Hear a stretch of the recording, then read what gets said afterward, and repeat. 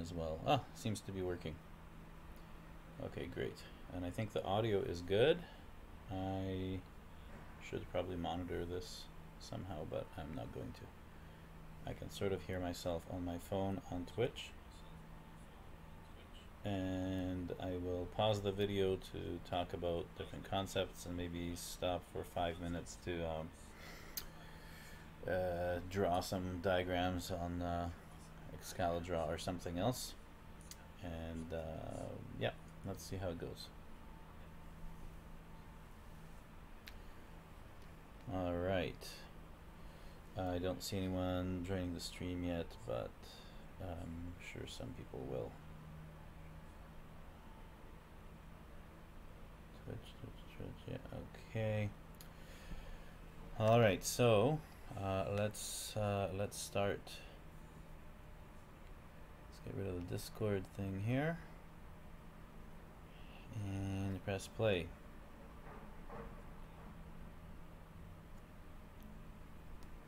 So the next one, I'm going to talk about a topic that's kind of tied in many ways to microservices. And both of my other topics are tied to, to microservices in many ways. Um, okay, uh, first of all, um, event sourcing, it's not coupled to microservices at all.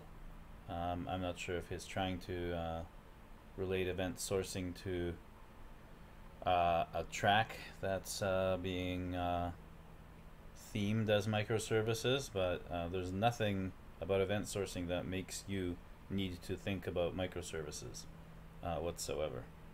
Criticism number one. So I'll try to be fair and give him credit for things that he gets right. So let's continue.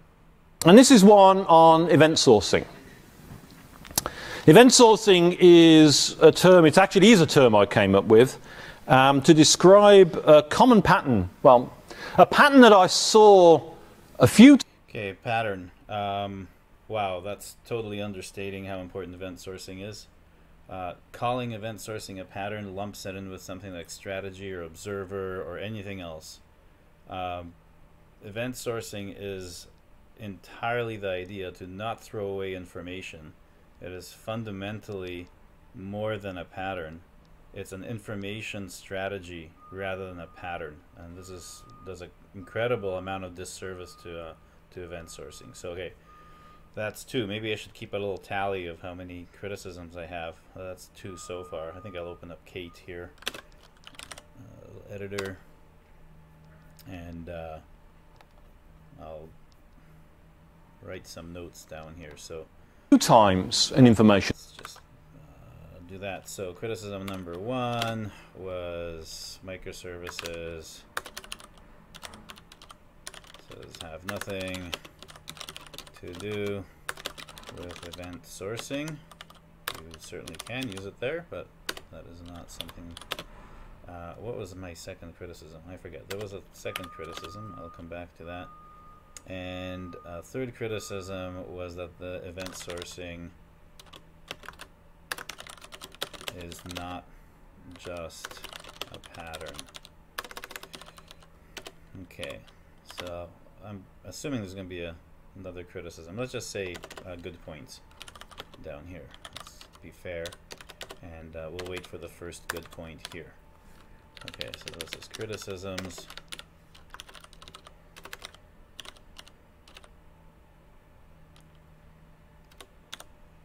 And then good points here.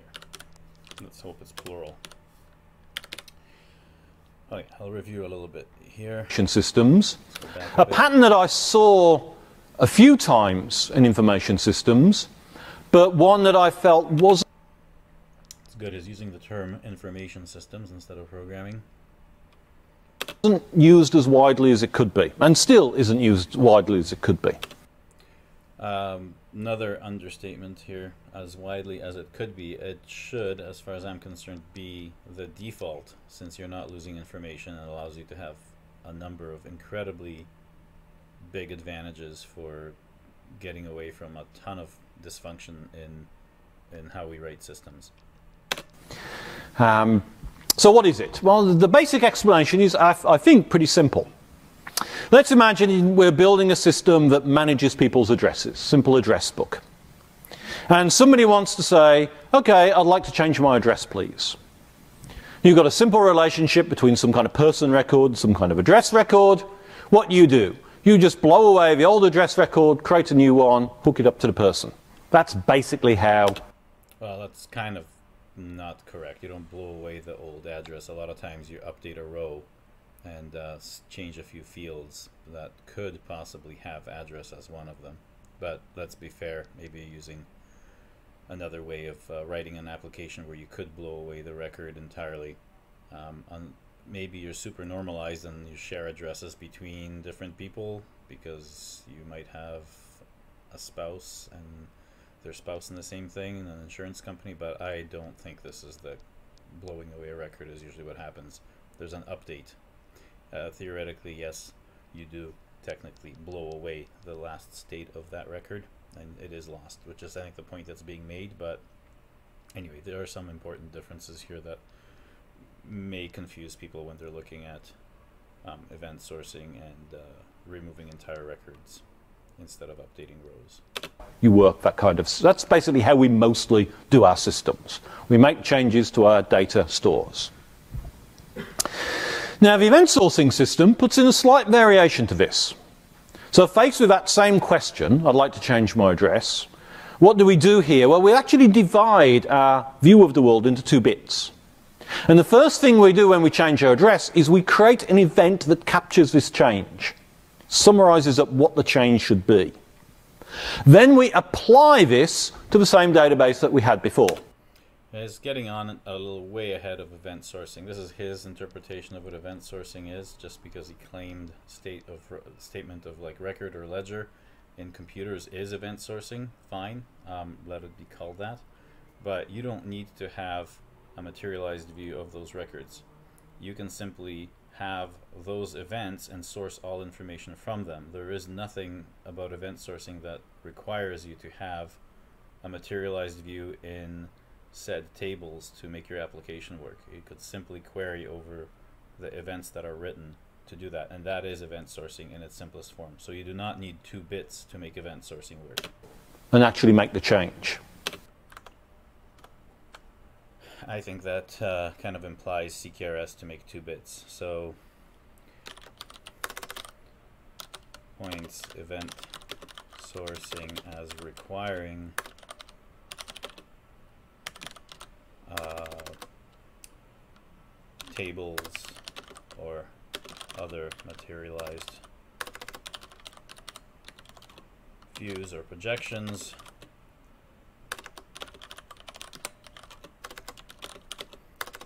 of events and it does not.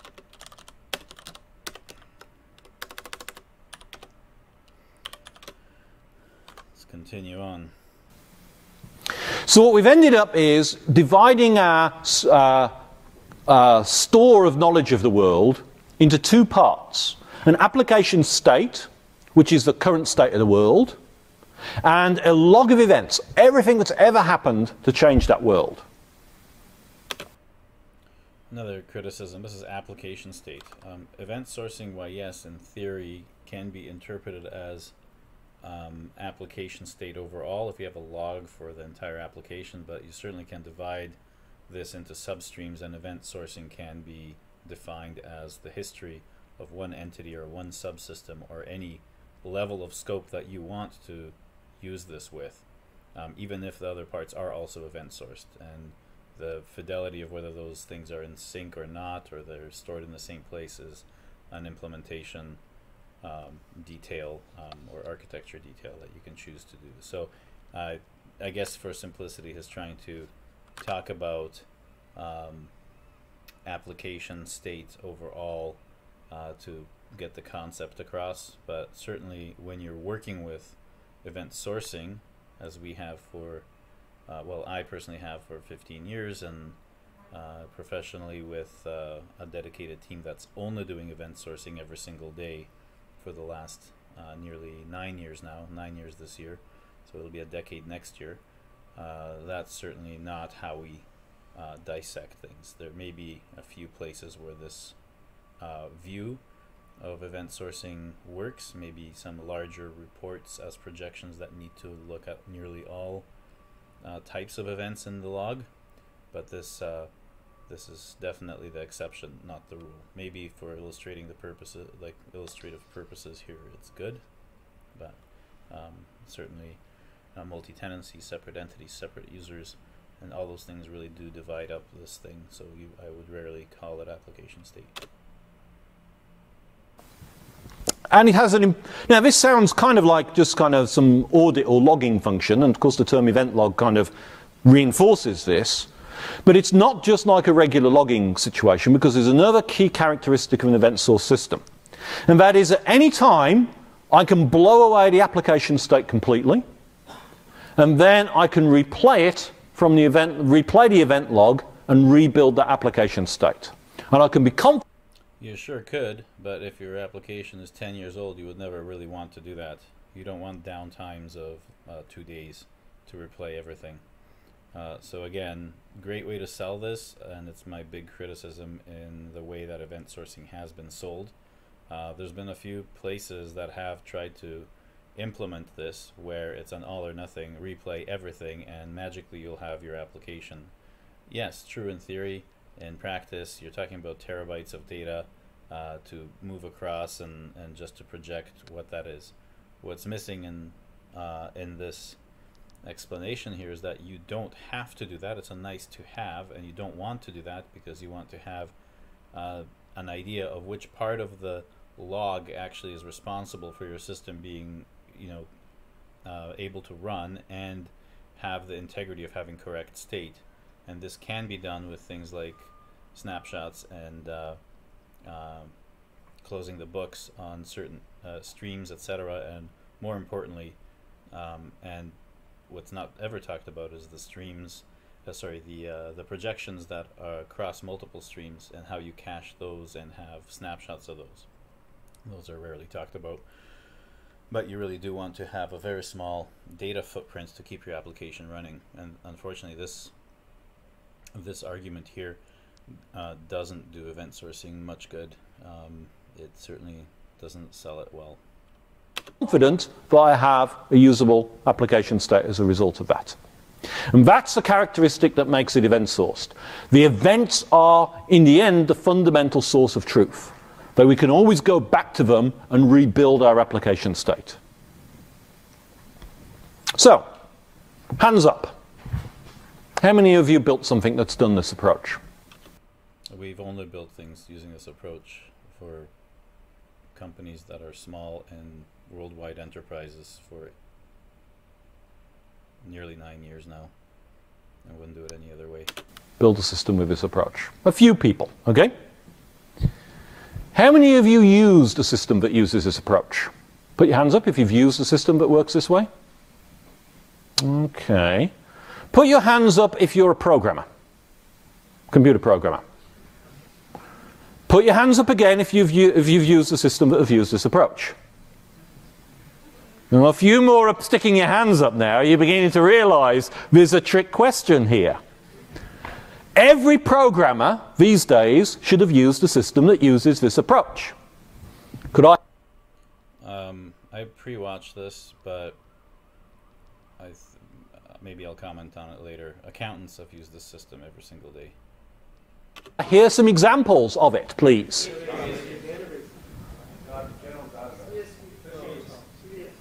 Yes, basically any source control system operates this way. No, it doesn't.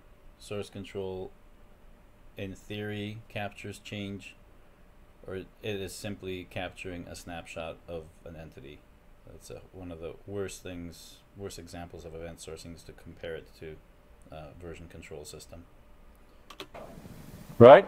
Any source control system has, at least logically, a history of all. At least logically. Right, you picked something that is totally fundamentally not event source to de demonstrate event sourcing. All the changes you ever made to your source code system, and you can rebuild your current state at any time. Right? You go. You never rebuild current state in Git.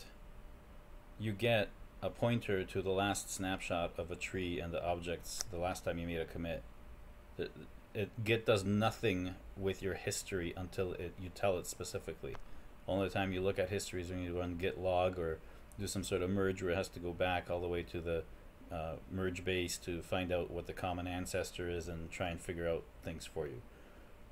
Um, and and then there's nothing that's event sourced. It's literally analyzing data changes between different snapshots of state. Git checkout master, or you know, because we all use git these days, right? And you build your application state. Essentially, that's the essence of event sourcing. It's treating our data the way that we treat our code with a source control. It's not.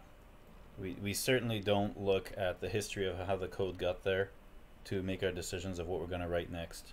That, that is what event sourcing is fundamentally, is looking at the history of what happened to make uh, better decisions as to what we're going to do and enable those changes. So um, I disagree. Um, what Git what Git uh, stores is snapshots of current state. Event sourcing tracks the intention and the state changes explicitly as as themselves. You could think of Git storing only snapshots if you're comparing it to an event store system, and uh, event sourcing only storing diffs. Um, so if you were to make a version control system that was event sourced, you would actually just store the diffs, not the actual blobs and objects, which is what Git does. Control system in place. And in fact, most questions that come to event sourcing can actually be resolved by saying, well, what does a source code control system do? And most of the benefits and to some extent the costs can be analyzed by thinking of that way. Now, I'm not going to really talk very much on the how you build this because that's its own topic, and I'll explain a bit more. It's a topic that's incredibly short that could be covered in three or four sentences. About why I don't talk about it at the end. I'm going to focus a little bit more on why this is worth investigating, why you should think about doing this, the sum of all of the system that you have. Now, one reason that probably leaps to mind, people's mind right away is that it gives us an audit trail. Right? Every change to our data is logged which would happen in any kind of logging system, of course, but it's logged in a particularly strong way. Because we're relying on it as a source of truth, because it becomes a, a processable log. Well, that is the first good point, that we make a difference between source of truth log and passive logging. Oops, logging with something like uh, log4j, etc. Um, those things are not reliable and horrible. Um, so that's, I'm glad he brought that up. We have much more confidence in it than we have. Not sure what the, happened with the recording here, but the camera lost focus. So maybe we'll be able to see the slide later. In just something where we're just writing off some to a text file somewhere. And it's again, just like with our source code, we have to rely on that history in the source code uh, repository. And we do rely on it to a great extent because we know we can run it anytime to build the state of our system. So that's the first reason. That's actually quite a powerful reason. If you're in a situation where.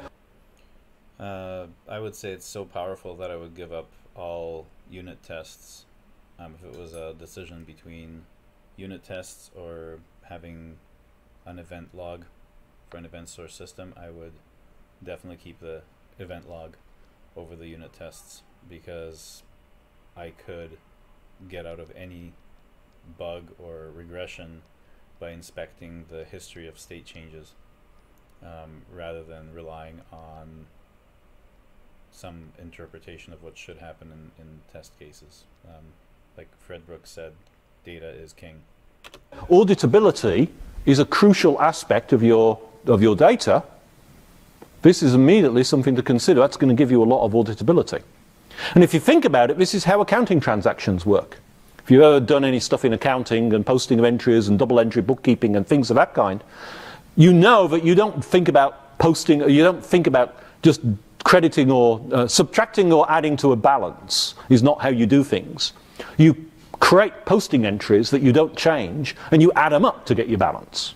It's the same principle. And in fact, that's in many ways how I first came across it, was working with accounting systems.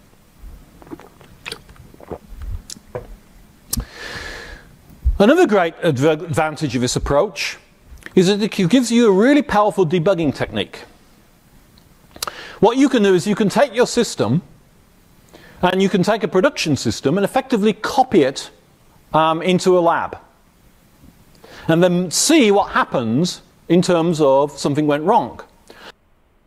So this is what I'm talking about, um, just from the last one, how important that is. So there's been cases in our, like all the people that have worked for us, where they've, and I personally have done this as well, is taking production uh, snippets of, of the log to really see why there's a bug or missing information or wrong information for a certain user when they're trying to do something or they're not able to do something. Um, that has been uh, incredibly powerful. So um, you don't need a lab. Uh, you can, because the way events are stored, they they don't need any dependencies, transformations from one state to the next, given the history and processing of a command is incredibly lightweight. So you don't need the word lab there. This is your laptop. Probably don't even need your laptop. You could probably have it in some, uh, I don't know, GitHub online code editor. Um, it's incredibly lightweight to be able to do this, um, especially if you can um, uh, stream a part of the events uh, easily. Um, and I think this is one of the issues with uh, uh, different technologies being used to store the events, whether it's a database and a specific events table, um, flat files, which work the best, I think. I, I, think we should really be working on actual file systems that um, that have event sourcing capability built into them um, with hard links and other things, uh, rather than having an application on there. But anyway, that's a advanced topic. Um, my point here is that the word lab um, really makes it seem a lot heavier than it is. This process of investigating what's in production is way, way lighter than what you would do um, in a traditional uh, project. When I was working at Pay by Phone, we had millions of transactions for parking, um, and to find a bug, you know, we had a giant Oracle install where all these transactions were, and all the different records that were involved um, through some sort of a referential integrity uh, it was it was a rat's nest, and and having to ask for two gigabytes of the latest uh, piece of production database to try and find something, getting through you know an entire day of debugging to find the problem, um, only to find that you're missing a record which is even older, and then asking for another snapshot or another uh, table population thing for for something else. It, it was just a nightmare. Um, none of that happens with event source systems. So think of your worst nightmares of of needing to get um, a production-like environment locally to dissect an issue. Um, this is night and day. Event sourcing doesn't do that, and, and it certainly doesn't require a lab for you to do that. So if something goes wrong, you take your copy of the system and you replay the events. And you can see. Yeah, when you have peta a petabyte of information, you don't just simply take uh, a, a copy of your system. That's that's crazy and um, and it's actually uh, worse in traditional stuff. Just just not knowing how many implicit or explicit relationships on data you have. Some of those relationships on data are not expressed as foreign keys and actual entries. They may be calculated in, code and assumed by convention or, or, other things, and that's that is a mystery you do not want to be needing to uh, unravel just to see if you need to have all of that. So yeah, you wouldn't want you wouldn't want a system where you have to have the whole thing uh, coming through. Um, you need a, an easier way to dissect which parts you need, and um, event sourcing is like one of the best ways to get rid of all those issues and really understand um, how state changed in your system. You can add extra monitoring code to find out what's going on. Um, you can you know, replay more than once. It gives you a great ability to replay what's gone wrong in, in a system. And I've often heard people say that this can be a really, really nice way because I'm no longer relying on how good with my log messages in, in the logging side of things. I can actually replay events and manipulate and see how it, what happened in a, a really rich debugging environment. So that's the second reason for using this is debugging. The third reason would occur to you pretty much immediately if you're thinking about source code control. Because we've got this notion of event log and an application state, we can take the event log, we can wind it back to the beginning, and then wind it forward to any intermediate state. If we want to say, what did our view of the world look like six months ago, we can just do this. We've got an ability to do historical querying that's much, much power, more powerful than a lot of other techniques do. Now, there are various patterns you can do to embed historical state into your application state itself. You know, you can keep records with, uh, um, you know, the time started and the time um, suspended on the on your database tables. I mean, lots of people do that, right? They have the dates on the uh, effectivity dates on the database tables. Things. Yeah, I don't think effective dates are a good way to explain that. Um, that's what you would do for, let's say, a tax change. You would have an effective date January 1st, 2025 tax rate is now 6%, where it was 5%. Um, th- that's, that's not the right way to explain this. Um, I think what people do usually, if they are trying to attain any kind of audit, is uh, history tables, where you store old entries of records um, in the associated uh, parent table, and uh, and then change the the actual table you're changing. So, uh, but again, that's haphazard and uh, it's an afterthought, so it's not a, it's definitely not a replacement for event sourcing. Things like that kind. I've got a whole bunch of patterns on my website that talk about how you can do this in a nice object, use objects to do this in a way that gives you a nice API for manipulating that. And that is useful and necessary for many systems. But if you really want to be able to dig back into past states, if you have an event log, you can always do that, even if you didn't design your system with that in mind in the first place. So that historical capability is very strong. And of course, we know how useful that is in software. If you want to go back to the state of your code six months ago, you just do git reset, put a check-in number, and you can roll back and see what it looked like. And then you can diff between what was um, there and back and forth as well. So historic state is a very powerful feature.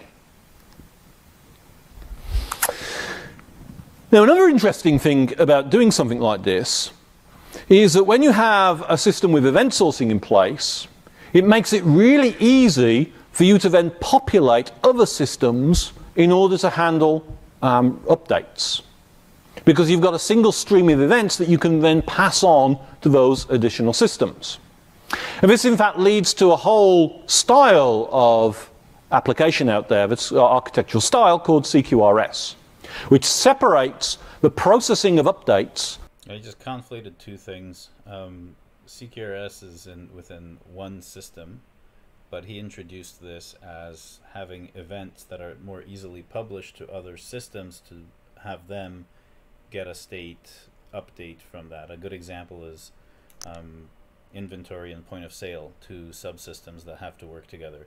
When something gets sold, you need to publish that event so that the inventory system can then update its view of what uh, pieces exist in, in the back room um, and are available for maybe online orders and things like that. So it's, you know, having better careful wording around this part of the presentation would have gone a long way um, because now someone has an idea that CQRS is, you know, tying two separate microservices together, which is not necessarily the case. CQRS is usually just a uh, you know, it's just a way of making sure that you're you have a separate way of handling your writes, adding information or changing state of your system versus having uh, the scalability um, issues addressed a different way of providing information to external queries.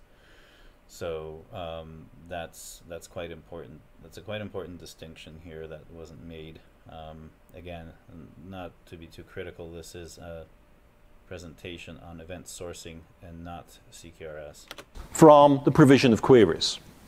Now, events aren't necessary for CQRS. You don't have to use an event sourced approach, but the two naturally go together. No, they don't naturally go together. Um, CQRS is implied if you're doing event sourcing. Even if you query your events directly, that projection itself is the query side of CQRS. Uh, so the only way that you could probably more formally define CQRS is that you're materializing and caching those queries or parts of the queries or using memoization or other ways to make sure that you're only updating those materialized query results with new events that are relevant. Um, and, and most times I hear people using CQRS, they're using event sourcing as well. And this gives us the ability to, for instance, have multiple um, query systems, which can be very handy if your system has a very high query load and complex updates. So it's really weird that he had to bring in CQRS to explain this. Um, you can explain event sourcing and the fact that it has to provide different projections for different purposes as queries um, over the same uh, large set of all events that you have. And then it's just a functional paradigm of paring down, uh, down all of these things. Oh, good, we have Beamologist here. Um, so thanks uh, for joining. Um, do uh, chime in with your own um, ideas and criticisms. We can discuss that um, at length as well. I'm going to try to make some of these ask me anything sessions and code with me sessions kind of interactive, and uh, we'll we'll do some critiques of of the presentation of event sourcing um, over the years because I think there's been really bad information out there about what it is, and uh, so we kind of have to uh, make a lot of these recordings where we go through this with a fine tooth comb like this and analyze what's being said because most people know who Martin Fowler is and they're going to copy paste the link for this video and send it to their colleagues and this is what they'll understand event sourcing to be right? So those of us that have been practicing this day in and day out every single day for more than a decade gonna be close to two decades in a few years here uh, there's way better advice and understanding of what to do and what not to do than people that have been kicking the tires. And I'm sorry to say that even guys that quote unquote came up with the term event sourcing doesn't guarantee that that's what they've been using. That was a paper he wrote in 2005, December 2005. And as far as I know, um, it was an extrapolation of some of the theory behind some of the LMAX uh, project that he was working on, the London Money Exchange for ingesting a lot of stuff. So there's a lot of history there of what it was used for in one project and gave ideas to write a theoretical thing about this approach. But, you know, to not have, obviously if you're just experimenting with something, you're not going to all of a sudden recommend it to every single other person. But um, we have, and we've only done that because we saw the the fo- the folly of throwing information out. And events if you decide to not throw information out because you don't know what your business logic is going to be next year and having all state available that you ever had is an advantage. And so we decided that that was logically the best way to develop something so that you're not you're never painting yourself in a corner. So you can actually do all the work in the update and then send off to, to multiple um, query loads a particularly interesting approach of this is that it actually allows you to have different schemas in your different query areas. So you can actually design a separate schema for each of your different query needs. So some might want to include a lot of historical information and others not. Again, having the event log allows you to process this all in different ways. So that's a the multiple schema uh, argument is, is quite good. Um, I'm going to give him bonus points for bringing that up. Um, uh, because if, if you just talk about event sourcing, a lot of people just get um, stuck on the fact that uh, you know you're replaying history, and that's great to see what happened. Um, but rarely do people understand that this is a very good way to support multiple models because you can support multiple models without event sourcing, but coordinating them becomes a nightmare. If you're doing event sourcing and supporting multiple models, what the event log gives you is a trusted source of truth that disambiguates any opinion about which model is right. The uh, event sourcing is best represented by the fact that you are capturing as fact what happened at that point in time with the minimal information stored to effectively change the system to what you want it to be. There is no argument. The person typed in this information on this screen and pressed save. Everything else is secondary. If you need to have a trigger that kicks off something else to put in some default value into some other table, that is secondary. That is not what happened. What happened is that the user added this new information to the system at this time and everything else is an order of magnitude less important and I think that is the best way to, to talk about that. And that forces you to have multiple models because that representation of that val of those values on that screen A can be not complete. Maybe what if it's one step of a, of a wizard that's filling out a larger record that you're gonna that you're gonna need somewhere else? Uh, you know, any number of these types of arguments can say that that is not the model you want. That is definitely just the model that best represents the ability to capture information correctly from a user, which is great. That is that is a great goal to have, and that's what should happen. But that model is not guaranteed, or most likely is not going to be the best model for presenting information in other parts of the workflows or other workflows in the system or other systems. But it is the most important representation of that data because it is what actually happened at that time. So good that he actually talks about multiple models. I think a lot of um, people that present um, event sourcing um, don't do that. Uh, unfortunately, he's using the CQRS crutch for that. You don't need to um, talk about CQRS to talk about multiple models. But there's a problem. Um, and it's a problem that I alluded to already in terms of microservices. Um, if you've got this kind of system, you lead to this problem of inconsistencies. Some events will have got into one system and not into others. So as a that's life. That's information systems. No matter how well you hide that under a database that gives you a transactional ACID properties and all that, the reality is that the real world and information flows with latency. Uh, there is the speed of light and the speed of information at its extreme, but the whole universe is not consistent. So, big deal. Result, you lose your strong consistency and you end up with eventual consistency. Now, in fact, there are other problems as well with CQRS. Um, I it's a, it's, a, it's a technique that, in the, with the appropriate problem and with skilled hands, it can be quite effective.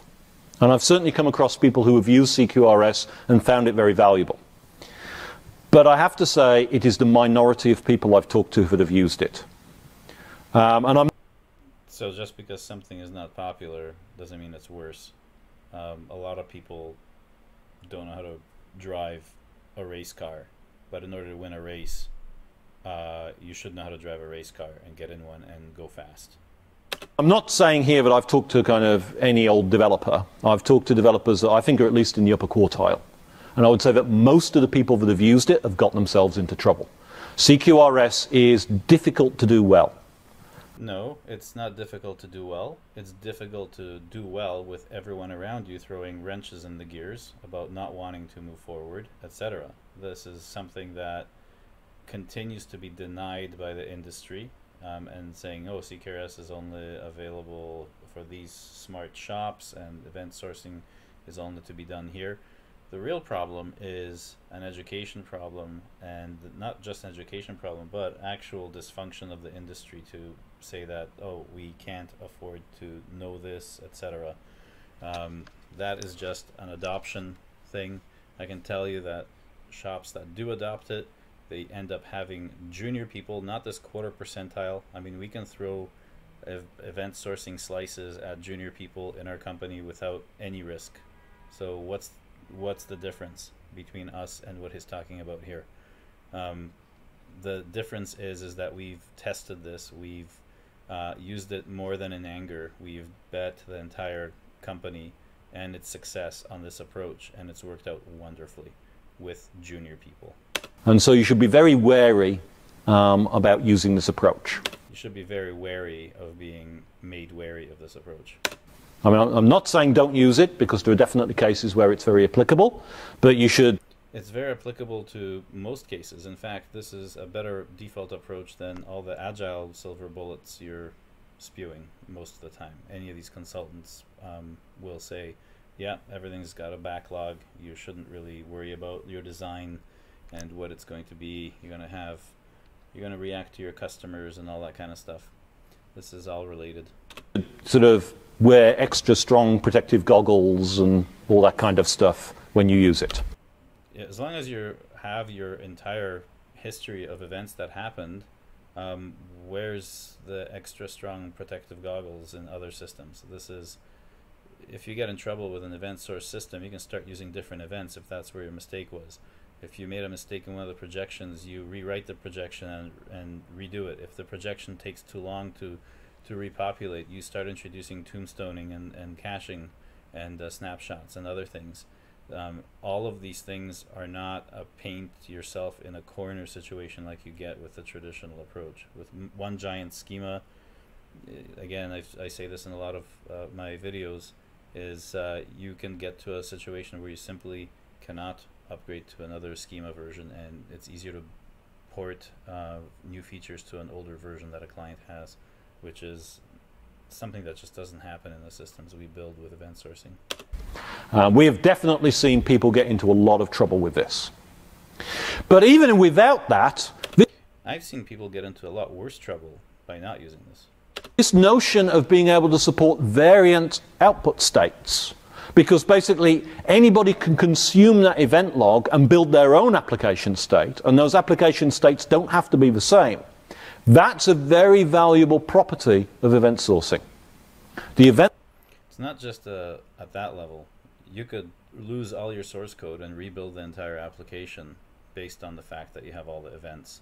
And this goes back again to the importance of data that Fred Brooks wrote about years ago. Log can be consumed by multiple systems that can build their own view of the world. And that can be handy for all sorts of different reasons that are not necessarily connected to CQRS. And of course, you've got the uh, distribution support. If you need to build a distributed system, such as if you're using microservices, then events make it a lot easier. And again, go back to that thinking of using source code control systems. How does Git work so well as a distributed system? It's because it has this notion of being able to deal with lots. Now, there's a com important complexity. It's not just Git, it's every single system that we've had outside of automating systems with computers. Every single system out there has had logs as a way of working. The reason that it's looked at su as such an oddball in information systems is because storage of data was incredibly expensive in the formal years of defining all of these patterns from the earliest transistors all the way through to the early 90s, um, the expense of storing data uh, was ruts in this in this way of building systems that it's incredibly hard to get out of. It's still entrenched in academia. You still learn about third normal form. That is uh, still looked at as the epitome of good data uh, stewardship and all this other stuff. It's it's horrible. So let's see. Some other people have. The beamologist is still talking here. This is great. So a statement from the following for for the follow up. Uh, people have been focusing too much on data first instead of process first when defining bounded context. Teams stop at the static data model instead of looking at the process as a coherent unit. Yeah. Uh, so yeah, the whole idea data or behavior. I mean, I I, I definitely think they're both uh, inter intertwined. I mean, you really I mean, with event modeling, we start to describe systems as what data gets introduced at what point in time to understand what the behavior is. And we give those collections of data meaningful names to do that, and we give meaningful names to stretches of those state transitions and state views to to talk about you know a, a larger workflow or, or things like that. Um, yeah, so yeah, if people are are focusing too much on on data first and they're just looking at well, at, in this particular point in time, there's a person record that's related to an address record that's related to this order uh, blah blah blah. Yeah, exactly. And if you try to make that the what academia teaches is that you know that is you're supposed to have one model that's going to you know best fit all the things your system will do. Well, that's just a horrible way of, of doing that. Going back to the multiple model, um, the best thing you can do is to make sure you focus that your process and the behavior happens exactly as you want and designed, and you make the data fit that.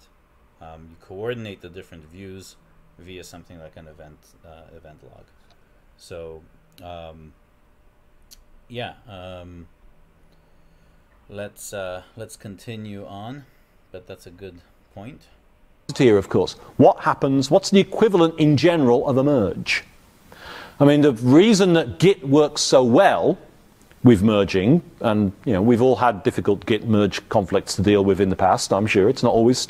I still hate this Git equivalent um, for event sourcing, but whatever. Let's see where it goes. Straightforward, right? Um, is in the end, its view of the its data structure is merely a big blob of text. And, and if it's a binary, you know, all bets are off, right? But if it's text, it can it can do a lot. But it's not perfect, and it's really a relatively simple data structure. A lot of the data structures we want to manipulate are more complex. And we have to think, what does it mean to get a conflict? And how, what does it mean to merge? Can we merge? We have to raise those kinds of issues when we go down the distribution path. But if we can come up with some sensible diff and merge facility, then we've got some really powerful tools that we could use. Even if we can't automatically merge all the time, if we can give the user a UI that allows them to merge two states in a sensible way, then. So I've worked at uh, some insurance companies that have had uh, policy histories or other histories uh, as events and presented through a Git-like merge, um, you know, two sides and the histories and all that. So there are some ways that's been used, but um, it's definitely the exception. Uh, yeah, that's like less than 1% of any event source system we begin to talk about some really quite capable um, features. And in many ways, one of the things that most interests me of event sourcing is the sense that why shouldn't we give our users the kind of capabilities that we get from source code control systems? On the whole, we haven't given them to our users. And that's exactly what the purpose of that insurance company's uh, system was to make sure that the actuaries had um, a ledger of changes and if there were concurrent changes and things like that they could revise that and compare and essentially do what you would do in git but for the end user. And i mean i, I hated doing this. I'm you know when i'm used putting slides together i have no way to diff two presentations in keynote in some sensible way. Even in a you shouldn't be using keynote then. You should be using a textual representation. Maybe you should be using open source software anyway but that's a topic for another talk. Silly way, just know which slides have changed would be useful at times. I saw. And, yeah, and all this like stupid Apple ass kissing is driving me crazy. Yeah, Keynote and uh, and FaceTime, whatever. Well, I store my presentations in Git because I like to have that history, but it's undiffable, and that definitely reduces its effectiveness. And I think we should think about more about how we give our users the kind of facilities that we now take for granted as programmers. So I've talked about this notion of an application state in a log. And one of the interesting things is that we can really separate these things out. Separate them out to the degree that we don't actually have to keep the application state on disk. Usually, when I talk to people about this kind of thing, the application state is a database. You know, it's it may be a relational database or whatever your database of source is, it's a database just like you work with. But it can be useful to say, let's actually treat that application state as purely an in-memory structure. And if something happens... So he's sort of going back to the point I made earlier of like, yeah, you kind of don't need to have materialized views in tables to have this other application quote unquote state. Uh, you can start to do things in memory to be incredibly fast. And uh, all I'm saying is you can go even further and not bother with an in memory. Um, if if you have a fast disk for the recent parts of the log, uh, you could simply query the event store itself. Happens and the computer crashes, I can always rebuild it from the, from the log. Now this opens up a whole new way of thinking about how we can process and architect our systems. Uh, it's an approach I refer to as a memory image, and I've seen it used rarely, but really quite intriguingly when it's been pulled off. I first came across... Pulled off? It makes it sound like it's uh, some incredibly hard thing to do. This is like one of the easiest things to do. And in fact, you should probably start with something like that when you're learning event sourcing and uh, just start caching uh, or optimizing your queries and it'll just fall out by itself. You don't even have to think about it and you'll get it. Cross it because it was the way that Smalltalk holds all its code. It does every, did everything for a memory image, and any old Smalltalkers in the room will remember that. And that gave it some very nice capabilities that were really revolutionary at the time.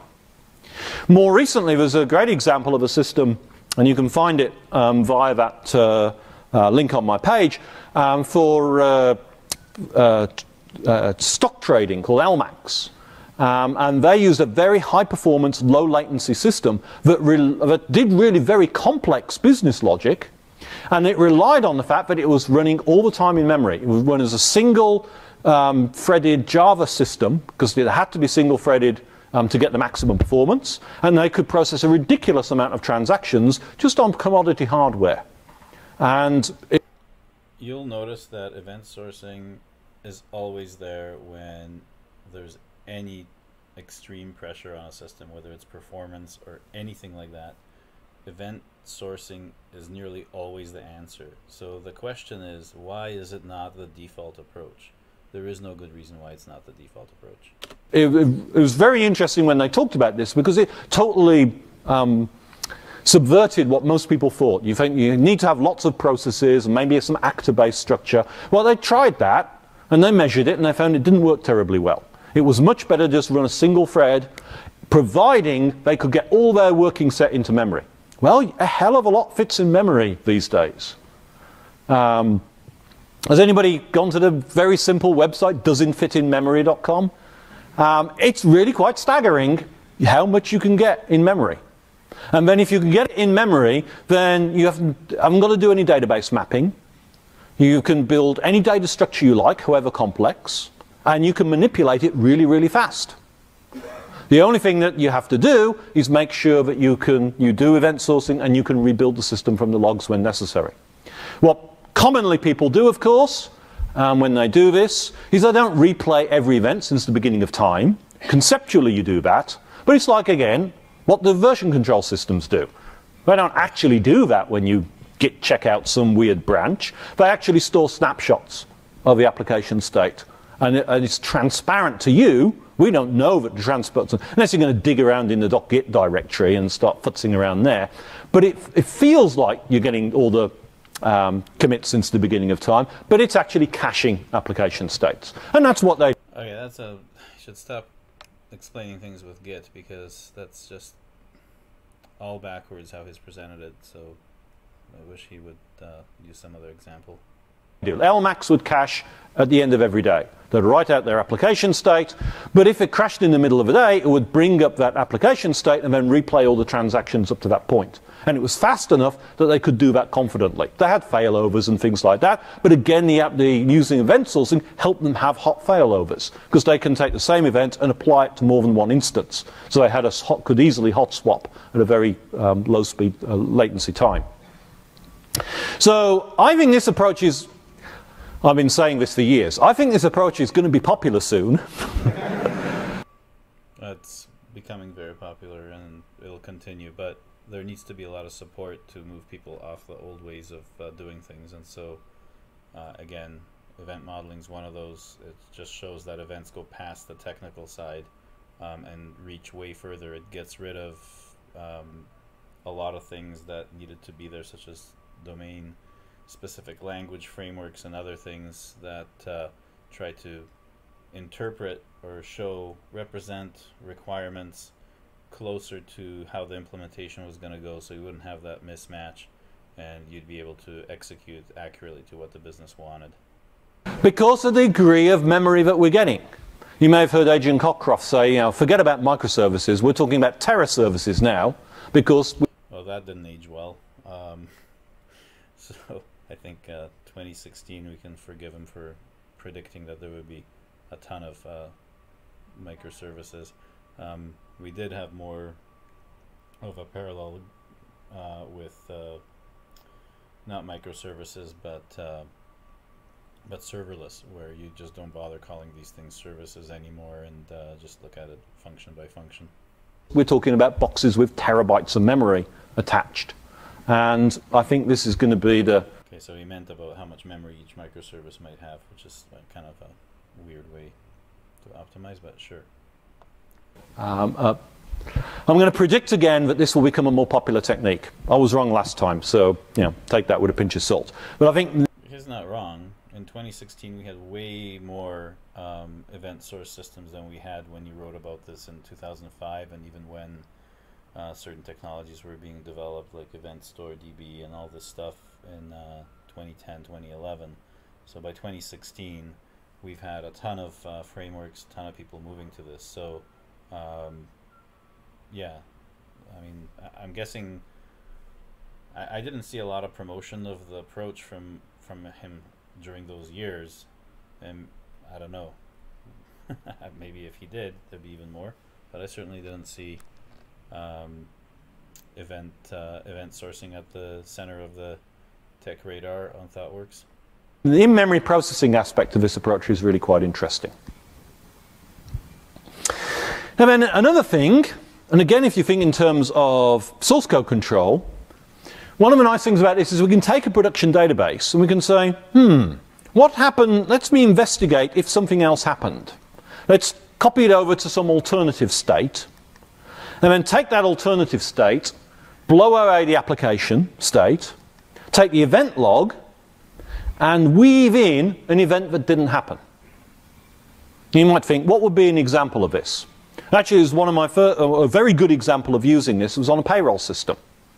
What happens when you find out you, you know some highly unionized automotive factory, you've paid everybody their payroll run for last November, and now somebody says, oh, so and so didn't work the hours that we said. He worked an extra four hours. That kind of thing would cause a huge amount of complexity because they had to figure it out by hand. And the consequences could be huge. That four hours could send you over an amount that gave you an extra day of vacation or qualified you for some different pension rights. The consequences of that change were very complex to calculate, and people could spend a day or two figuring out what was going on, and of course, lots of room for error. But in this approach, you could just go back, remove the bad event, put a new event in, and then having done that, replay the application and you've got a new application state, which is not a real application state. This doesn't exist, but it's what the application state should have been had that event actually been processed correctly. I like what it's saying about the power of event sourcing, but it is also wishful thinking from another perspective. Uh, there's a lot of cascading effects of what happens in history. So even if you put in an alternate event or an extra event in there, who's to say that some processor is not going to react to a view of one of the views that's influenced by that type of event and throw in some other entries. And if we had the same source code, it would be a lot easier. But these entries can be at any particular point in time. So not only are you replaying the state for this particular uh, way of uh, simulating the system, but you also need to simulate the deployment of new business logic um, and uh, and new uh, projection uh, uh, logic as well. Uh, because the source code you're running now is different than what was running to interpret that event at that time in some projection that was on some person's screen. I mean, it's not even something that you can automate because in that year, someone when they're talking about vacation allotment or something, you know, that could have had a human component where there was an approval process and uh, and something appeared on a computer screen in front of someone that's working there and they decided to press a button where they wouldn't have pressed that button otherwise. There is no way to simulate that because humans were part of running that system. So I get where it's going and it's incredibly powerful, but I don't think it's the full picture and what happens. Further, you don't need to replay the entire application state. A lot of these types of errors are caught by one of the reports that you can say, given this history, what does this report look like when they should have had that vacation time given to them that year? And things like that. That is a real live, like that's a real way of using it. And so one of the differences and why I'm making this video is to show you the difference between theory and practice. He, Martin doesn't implement stuff anymore. He doesn't only work in event source systems, as he said himself. He would want to see more systems like this, but I don't think anyone uh, has done event sourced only like we have for the last eight years and myself for the last 15 years as the only way to automate information systems.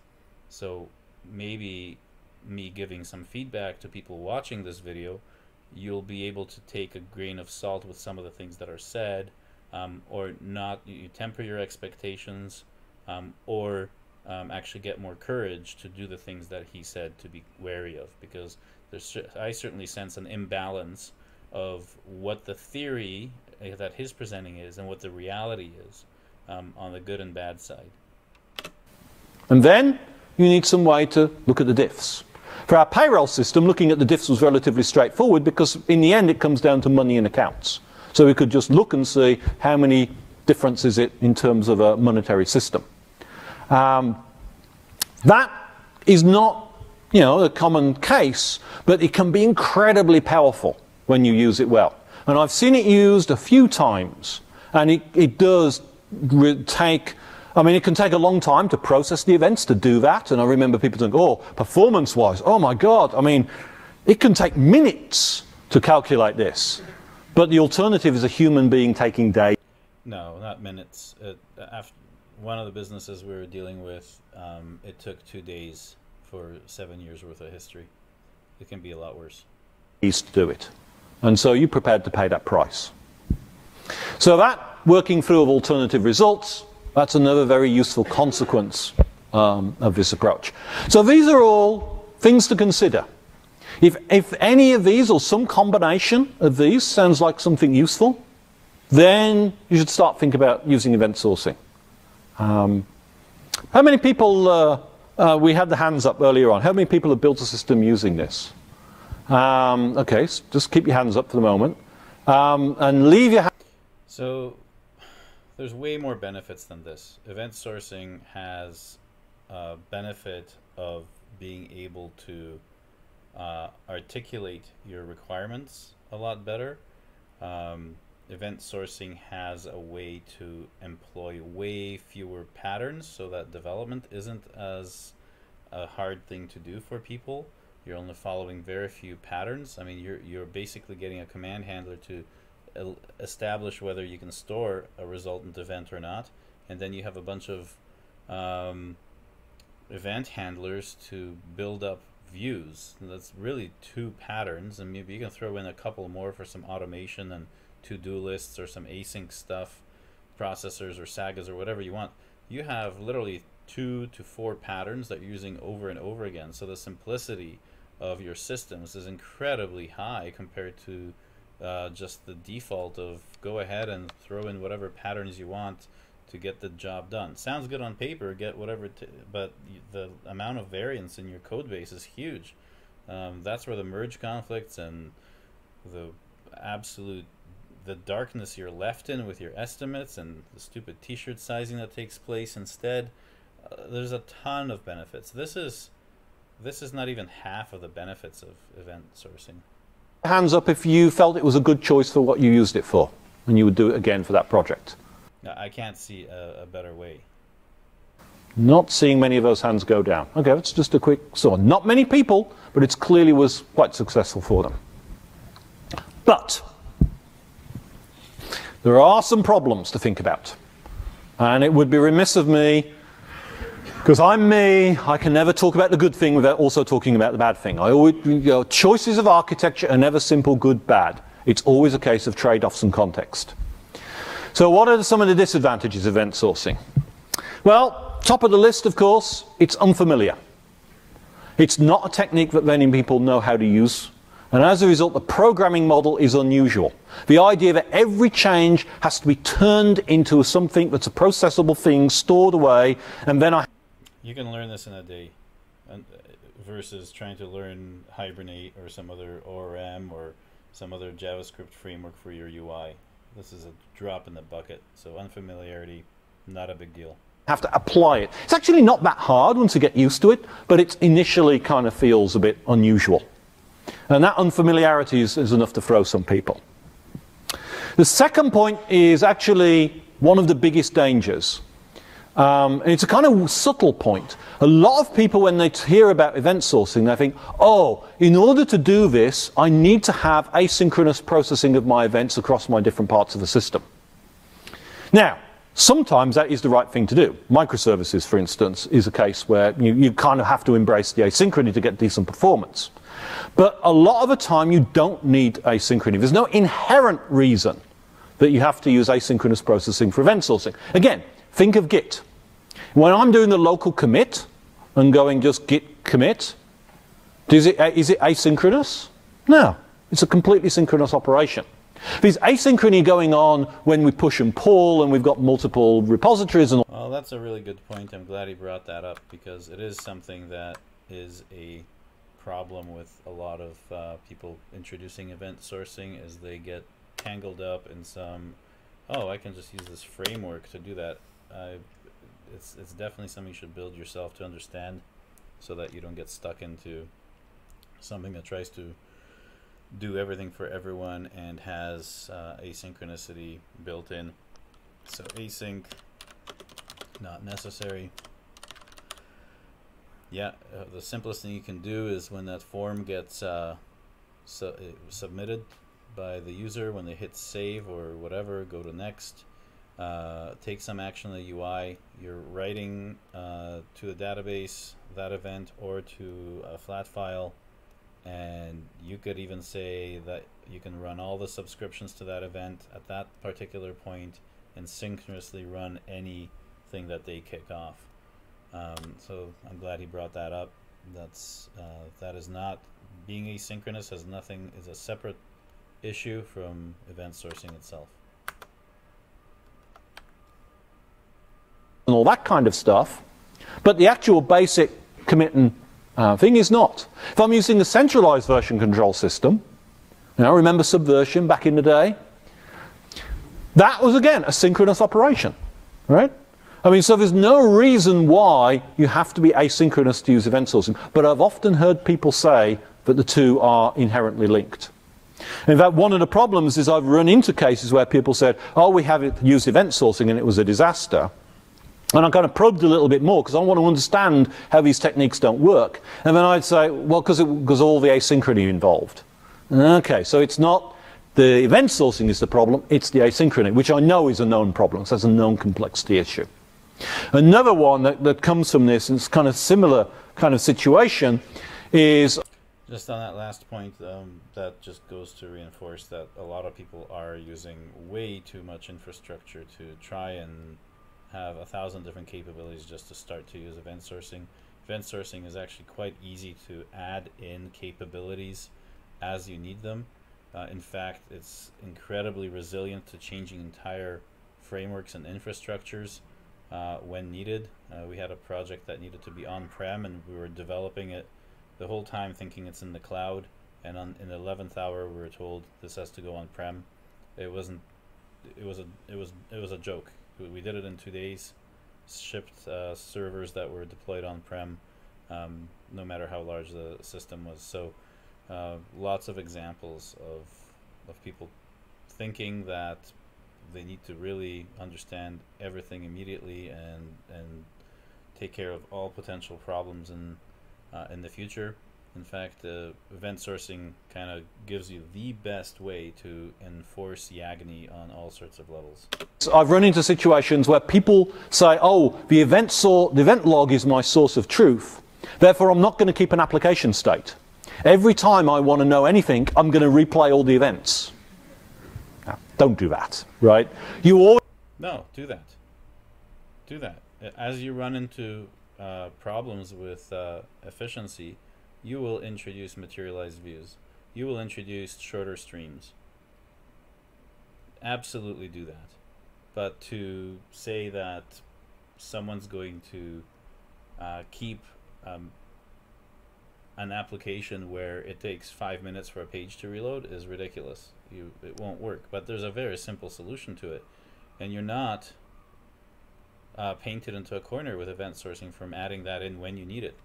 So no, absolutely query the events directly. always, pretty much always will have an application state. It's only populated, you only rebuild it when you have to. I mean, it's just like with Git, right? I mean, you don't operate raw. The Git thing's really getting annoying. Git is the state. on the stuff that's in the .git directory. You have your working copy that you operate with. And in fact, most of your applications are unaware of the fact that there is Git in the, in the background. I mean, clever IDEs and, and editors will have some kind of Git manipulation mode, but most of their operations completely ignore the fact that Git's present. External systems that aren't event sourced are a problem. If I'm you know, take the payroll example, I'm maybe stretching this a touch, and I'm paying in a, in a I have to do some currency conversion for some reason. Um, how, and if I have to, re, have to rebuild the application state from you know, six months ago, am I accurately going to get the currency that I actually used six months ago as a currency rate? Now, there are ways around this. There's no way around this. This is literally you treating your system uh, with systems thinking, and that rate, if you're doing event source event sourcing correctly, would have been written into the command. Um, what he's actually getting at here is the true problem with event sourcing, where it's treated like a traditional system, and inside the command handlers, you're actually getting the external calls. You're not capturing the call to get an interest rate or an exchange rate before making the command and issuing the command. Your command handlers have to be stateless. In order to do event sourcing correctly, you are not calling to anything external in your command handlers that's what gives you the rep- replayability and all these things is pure functional paradigms. And you don't need a functional language to program it in, but you simply have immutability. You know that when you're looking at your events, you have all the information to uh, make uh, to recalculate the state. If you can't recalculate the state from your events, you're not doing event sourcing by definition. Right? I can make sure whenever I query an external system, I actually keep a copy of the thing so it can always reconstitute. Put it in the commands, and they'll end up in the events. That is that is information. That is external information being put into your system, and you are failing at keeping state. It's not. It's, this is a argument uh, argument even outside of event sourcing. that event accurately, but it will certainly play havoc with the alternative situations where you know the timing might change and you know there's no way I can tell what that past state was. External systems tend to complicate matters. No, they don't. We integ- we integrate with external systems for every single system we've written for nine years, and I wouldn't call it anything complicated. Um, a particularly subtle problem is identifiers. If you're creating things and giving them identifiers that are going to be exposed outside your system, you've got to make sure that they always calculate the same identifier if you replay the events. You don't recalculate identifiers. These are things that are embedded. That's why you have GUIDs and UUIDs and true random things and snowflake IDs and whatever else. Um, they're built for purpose. This has been solved many times for many different systems, and any Joe Blow can use those in their systems. This is not something that only Facebook or some other giant company needs to use. And that is can be a bit tricky. That can trip people up. And the schema of the events themselves, because they have to be replayable all the time, your software has to be able to deal with the fact that if you need to change the schema of the events, you still have to be able to populate things. And I've seen that get people into trouble as well. No, one of the simplest things we've ever done was to have upcasters from previous events. It is it causes us zero problems, and in fact, it's such an advantage that uh, I can't fathom to think of going back to a traditional system. Um, schema my schema changes for anything in an event source system is the easiest way to deal with schema changes. Uh, there's just no way to argue against that. Um, upcasters take a, a, millisecond or nanoseconds, picoseconds to, to actually do that, and most of the time you're putting in a, a null value for a new field that you added to an event. It's this is not a problem. That is not a dragon. Well. In fact, if that's if that's your dragon, you're definitely doing something wrong. So there are definitely problems and subtleties with this approach to be aware of. Um, I think this is a way to sell consulting that I will protect you from these potential things if you're thinking about event sourcing. Um, I don't know that I can hear that from the guy that supposedly came up with this approach that that event schema is a problem. That's just yeah, sorry, not not reality for a company that's been using only this approach for so long and introducing this approach to people that are new to it. It's not just because we're experts. It's because we have people that are junior effectively using this. What unfortunately I can't give you is a really great sources of information about how to do this technique. Um, I wrote a bit about it um, in the article referenced there. Um, but that was many years ago. It was back in almost 10 years ago I wrote it, and it wasn't very complete. I was looking to actually turn a whole book of that stuff, but I ended up writing the DSL book instead, and I haven't had the energy to go back and work with that. Ironically, the DSL book is something that is entirely replaced and unnecessary if you're doing event sourcing, and especially if you're doing event modeling. Your events are your domain specific language. You, re you remove the need for a whole book on the subject. I've heard of a few people starting to write books on this kind of technique, but you know, lots of people start books. It's much harder to finish them. So unfortunately, there's not a lot of information out there on how to do this well. But I think because it's so damn simple that it doesn't require a book. Of the guide of what does a version control system do is actually a very useful guide to help you, um, at least. Don't, don't learn event sourcing by studying version control systems. Begin to, to operate with this. And as you saw from the hands, a few people have used this technique and found it worked well. Uh, and another point I should stress, you don't have to do this to every part of your system. Often where I've seen this, it's only used in one or two areas where they really needed those valuable features that I mentioned. Often to do with accounting for money because... Nope. It's a simple decision. Do I want my system to lose information, yes or no? What advantage do I have in losing information? He himself said how cheap it is to store things and how you have terabytes of uh, storage and, and terabytes of memory why the hell would you throw information away? You got to be off your rocker to not have this as a default. It's what money is important and it's easy to measure, so people tend to be focused on it. But it's the reason it's in money is because accounting has worked this way for thousands of years. There's no other way to do accounting. A worthwhile technique to bear in mind. So that's event sourcing.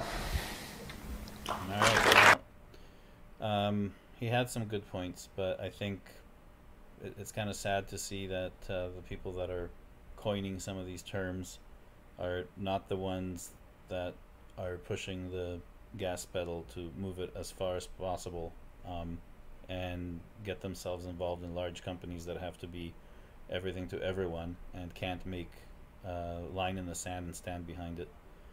Um, let's go through some of these comments on this video. I, YouTube comments usually suck, but let's just see if there's anything worthwhile in here.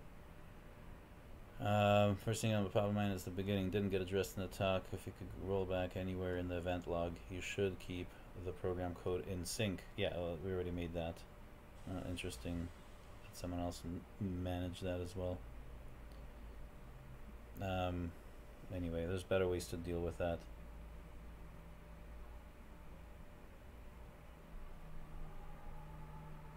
I don't know. It looks like there's some replies to other things. I'm not sure. This the second comment doesn't make much sense. Yeah, th yeah. This is a horrible waste. This this is a really good, really good assessment here. First part of the presentation. Oh well, it looks so useful. Last part of the presentation. Oh well, it gets a mess. Yeah, no, it's not a mess. It's it is the thing that will save you from thousands of headaches and thousands of messes. The fact that it's a vehicle to get you to have multiple models at play is why you won't be in a mess. Every single system has that cyclomatic complexity and the coupling go through the roof and everything's a death march. Event source systems are the exact inverse. Um, well, to be fair, Git doesn't exactly do ES. Well, okay, so other people have seen this. ES and state, blah blah blah. Okay, so someone explained that. I'm wondering if anyone's like, yeah. Uh, he could have definitely talked about. I mean, yeah, one of the interesting things about this presentation is that he didn't uh, use what others um, have uh, talked about a lot when presenting event sourcing is that databases are transaction logs that then have, you know, store are the source of truth for what you get in the table when you look at a table, and also used for replication. So we are using established things at the app, at the business logic level um, that databases already do anyway. Uh, again, criticism of this Git start is a bit of misleading for people less familiar with Git. Uh, yeah, it's a common misconception that Git records changes and uh, and events. Every Git commit is in fact a very real way to complete snapshot of state as the files at that point in time. Uh, fancy tricks for compression, so yeah, there's the indexing uh, IDX files and all that stuff. Um, if you want to get into that, Git is uh, is awesome to understand and how it works. Could probably have a video on that at some point. Um, so, but yeah, there's no replaying it with Git. Git doesn't do event sourcing. I have no idea why a guy of his stature would use Git to explain event sourcing. I was quite surprised. Uh, I'm hooked on uh, event sourcing. Uh, I spent three years building a very large system based on DDD CQRS event sourcing. As I feel like a god. I would never have wrangled all the complexity with such, such, such thinking. And amazing the fact that it's language, blah, blah, blah agnostic nomad yeah. So it's language platform agnostic yeah. He didn't mention that that you could actually have a system that's quite polyglot and have multiple um, platforms involved to get a whole system built. So you could have .NET people working with Node.js with PHP people. All of those people could work at the same time on the same code base um, especially if you start to design the system with something like event modeling to understand all more or less what all the events are going to be. Um, at least a lot further than you would with just plain old agile uh, backlog management. And uh, and then yeah like it's it is i mean there's no way. It is it's it's kind of sad that this is the way that it's still sold by the guy that wrote the first article on it because it's keeping a lot of people away from from this approach. And most people like eric lewis young here um, once they do um, event i'll give him a like here because that's a really good comment uh, it's a one-way street. It's like the Matrix. You uh, step out of your pod, and it's no way you're going back into the pod. Once you've taken the red pill, you're you are uh, stuck in living the reality. You don't want to go and uh, and work in an ignorant way. Um, so Elixir, Elixir and Beam. So a lot of people love a lot of Elixir people love um, uh, event sourcing, which is great. Uh, so if you're not doing DDD CQRS event sourcing and Elixir, you're behind the evolution of our field. You don't need Elixir for that, uh, but certainly you don't need DDD. There's a there's a there's some problems in DDD, at least the uh, implementation uh, tactical part of it, where where you have to do um, uh, aggregates and all that. Um, that that is not necessary. Um, and certainly you don't need to focus on CQRS if you're doing event sourcing. You ha have to make projections of state anyway. Uh, so, you know, this last sentence can be simplified to get 99% of the benefits. Um, so let's see what the criticisms of this are.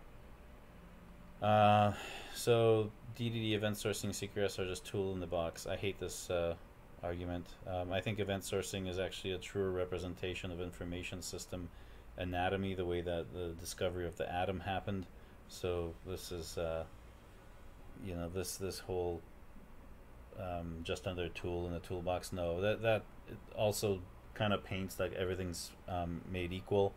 Uh, but you know, a Swiss Army knife is way more useful than a lot than just one screwdriver. Um, so I hate that uh, toolbox thing. Um, don't you think it's all about contradictory to list language agnosticism and um, yeah, um, benefited me to throw that out the window by stating there's only one language. Yeah, okay, that's okay. Uh, so yeah, some problem in that statement at the end, but uh, no, um, maybe it's an auto-generated one. It's a year ago. So um, any questions, type them into the Twitch thing here and ask me. Otherwise, I'm gonna uh, leave it as that. I'll have the recording up on YouTube as well, uh, so people can see it, and um, maybe we can have another another session later. So had a few people um, join. I'm gonna again try to stick to some sort of schedule, but I got a lot of stuff to work on and seem to be everywhere all the time, and uh, can't uh, pin myself down to a schedule quite easily. A lot, a lot of uh, stuff to do, but uh, thanks, Cuba. Nice to see you. Uh, yeah, leave me a comment. I have a link to this, uh, well, to the Twitch stream and my Twitter. Uh, if you want other things to be discussed about event sourcing um, or event modeling, let me know there. I'll try to do that. Next session, I think I'm going to go back to the coding of our um, accounting system for uh, for consulting company, and we'll uh, move on to the um, invoices and uh, start to uh, event model and build those out with uh, event sourcing from scratch, so you guys can see this in action. All right, everyone. I don't see any questions, so I'll sign off from now and um, for now, and uh, see you uh, next time. Ho- uh, probably tomorrow. I'm gonna try and do this early in the morning um, to catch some of the European folks. So if you're catching the recording of this, um, let me know if there's something else you want me to discuss. I'll try to do that before I get coding in the morning tomorrow. So, yeah, uh, good to see everyone, and uh, we'll chat next time. Bye.